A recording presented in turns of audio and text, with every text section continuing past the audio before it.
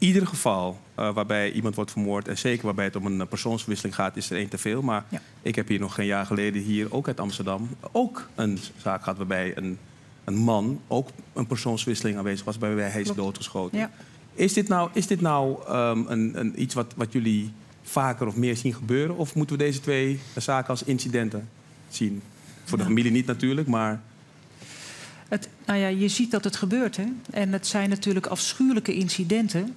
Um, we hebben natuurlijk ook situaties gehad waarin er geschoten is op, uh, op doelwitten. Waarbij natuurlijk de patronen zijn teruggevonden in de kinderkamers van huizen. Dat hebben we ook meegemaakt. Dat is natuurlijk nog weer iets anders. Mm -hmm.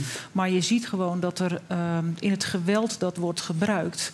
dat er dus uh, nou ja, in dit geval dus fatale vergissingen worden gemaakt. We, kunnen niet, we, kunnen, we, we hebben geen cijfer van mensen die, uh, die slachtoffer zijn geworden van een persoonsverwisseling. Maar Stefan Hè, want dat is wat je bedoelt. Ja. En Janke Verhagen, die natuurlijk zijn vrouw die hier heeft gezeten.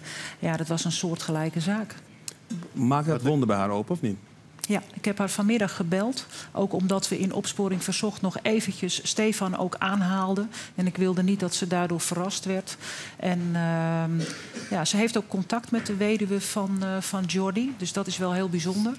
En uh, nou ja, goed, het gaat nu goed met haar. Met het jongetje gaat het gelukkig goed. Maar het zal nooit meer hetzelfde zijn.